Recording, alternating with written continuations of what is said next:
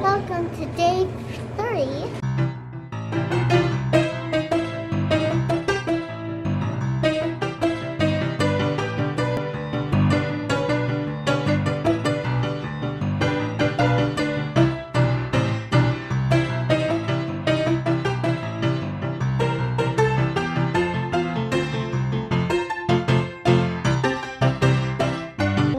Welcome back to Adventures by Kayla to the Pony Express Museum here in Missouri. Let's go check it out.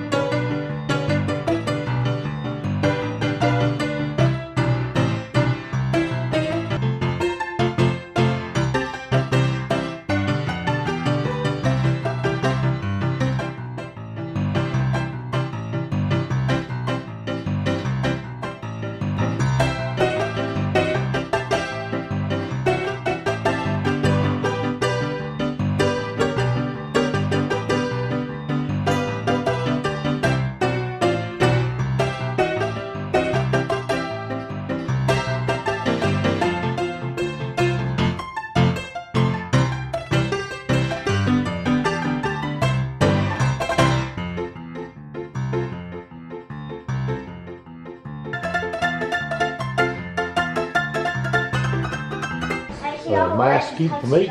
Yeah, it's a grazing muzzle, yeah.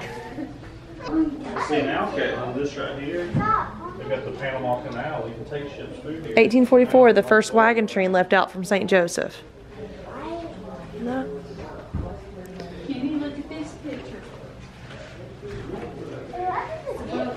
What it does is it shows you what the, see it's still going, but it'll show you they all start at the same time, which one gets there first. The pony. Okay, Daddy. Can we, can we get up there? The paper that says something. Okay. What doesn't fit in this exhibit? Oh, wow.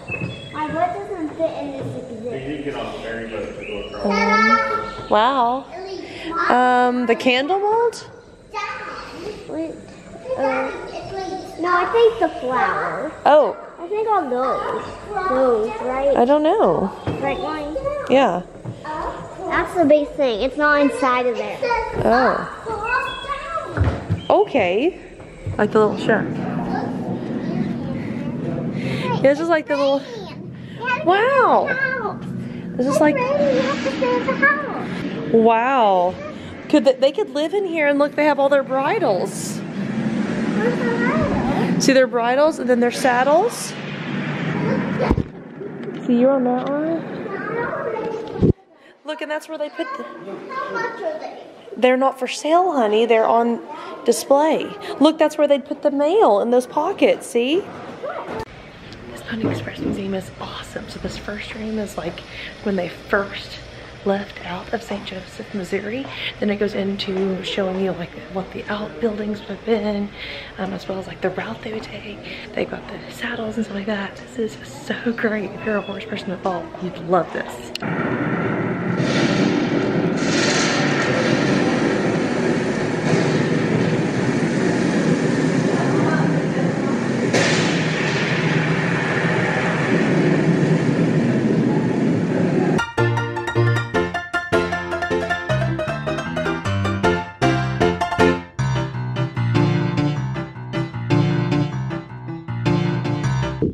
Fun fact, the reason why the quarter horses are not used there is because they had not been developed yet. And they're a combination of a lot of those horses. Here are all the stations they had. Wow. It's a lot of stations. I love the museum. It is just a little small, so don't plan to, probably plan like at most an hour for it. It's very small.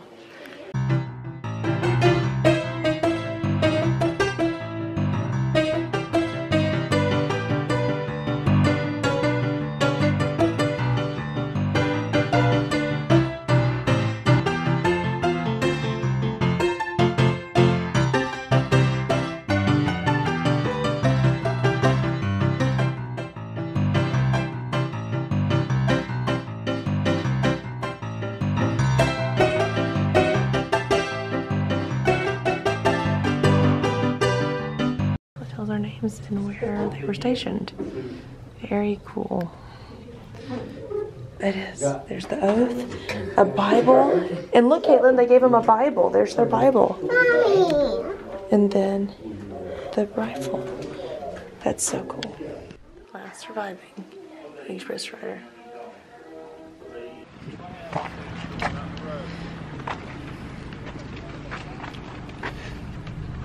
Well, It, does it tell here how long it is built in 1858? But it didn't start till like 18. That's where they would. This is Pony Express headquarters. So I guess that was the stables down there. Yeah, that's Jesse James' house. Yep. And he was killed right there at his. Uh, Oh, I gotta get a picture. I got that's that. and here is the home where Jesse James was killed. So the story with Jesse James is that he was held up here trying to like hide out because he was wanted or something, um, and he had a disagreement with one of his gang members about turning in another one of the gang members, and so he was killed by one of the gang members. He was shot in the back. Fun fact. All right, so Truman House rankings. All right, I'll go first. Six out of ten. It's just a presidential library, what nothing special. Okay, Sean. I will say I really liked it. I, I'm gonna give it another eight. As far as the presidential things that I've been to in my lifetime, it ranks up there number one. Know where you. Like eight or whatever. As far as what it showed, what happened during his presidency, how they displayed it, how how much of it there was. Uh, it's the best presidential thing I've been to. I've been to. What was the one in? Uh, An eight. Mom didn't even pay to go in. So what would you give that, Mom? A one? Uh, I won. You just don't like that kind of stuff. Go interstate. Okay. way better than Lousy Creek. Whatever. Yeah, that was better than the Wallabies. Yeah. but you never know what you're getting at these things. Okay, Pony Express Museum. I will say a uh, like s- six and a half, maybe. Still I'm between a six and a seven. I was very excited to see that, and then I guess the only thing realizing it lasted for like 18 months, and there just wasn't. I thought the museum could have been done better. Just compared to we've done museums all day. That was the worst museum as far as informative and displays and setups. I disagree Even though. I thought that would have been really cool to see how they did that. I got the information I wanted, but a little more rinky dink.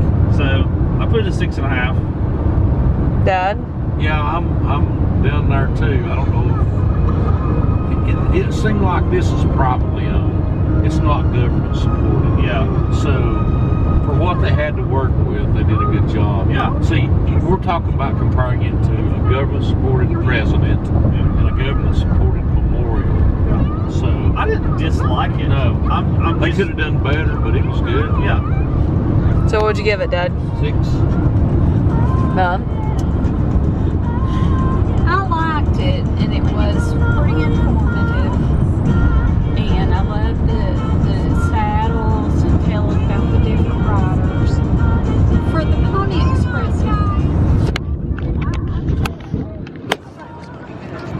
Yeah, the only thing I think it could have possibly been better is to have horses out there to give them like a pony ride. I mean, I think it's an eight and a half for the actual item that you have to do. Their uh, displays were fantastic. Their artifacts was great. Uh, it was really informative. Last Right, for 18 months. I mean, I thought it was 10 times better I than did the Truman thing. The guy about Tasman. Really? You like that? You thought that was better than Truman? I thought it was better than all the ones we saw today. Oh, 10 times better. It went. But like, I, I enjoy that more, Oh, obviously. you're- It made me think a lot of the show Young Riders Okay. because that's what they did. They were Pony Express riders. I'm saying like it's just like it it's just like Americana. Like yeah, I did too. I thought they did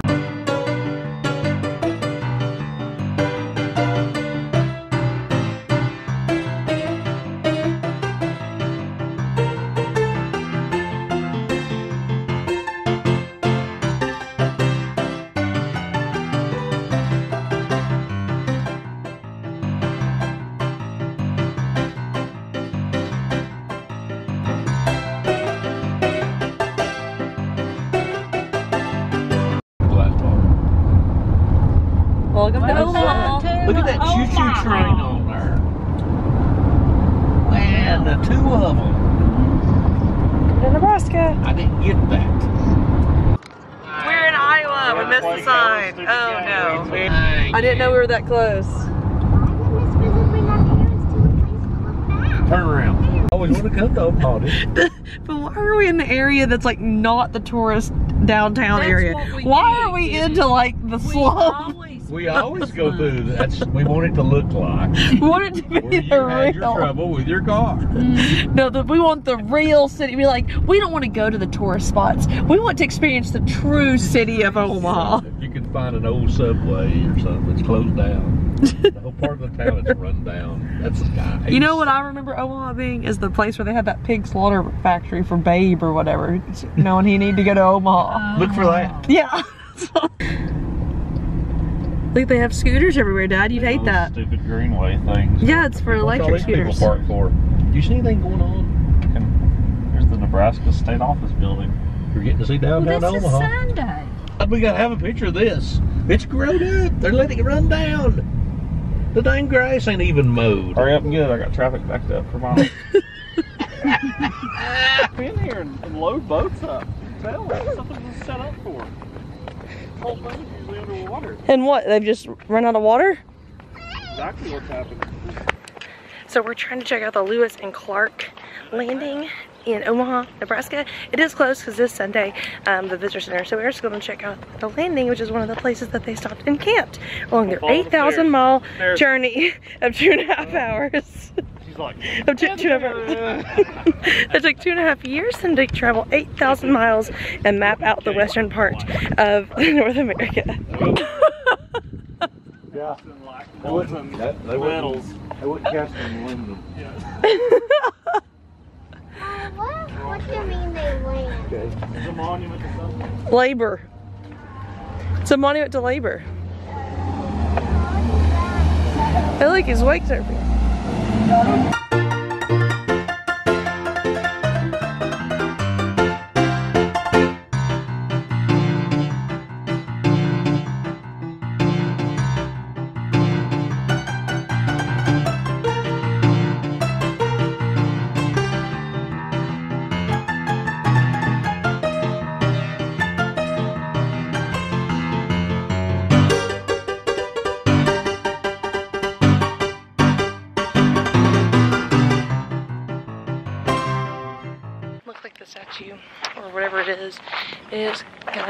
Out of reach with the construction. So, of wander around more of just like a greenway. Skip it unless you can go through the visitor center. So check the hours online.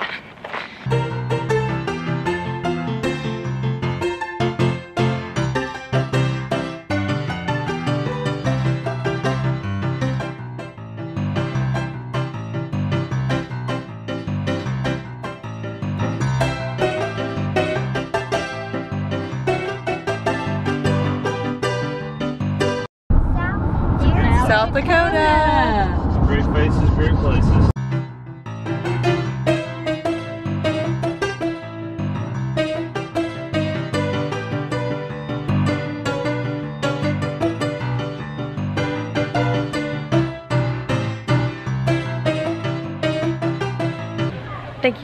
Much for watching our road trip out west to Yellowstone, Mount Rushmore, Monument Valley, and all the highlights out west. Please hit like and subscribe so you never miss an episode, and that way you're able to see any other adventures that we may have.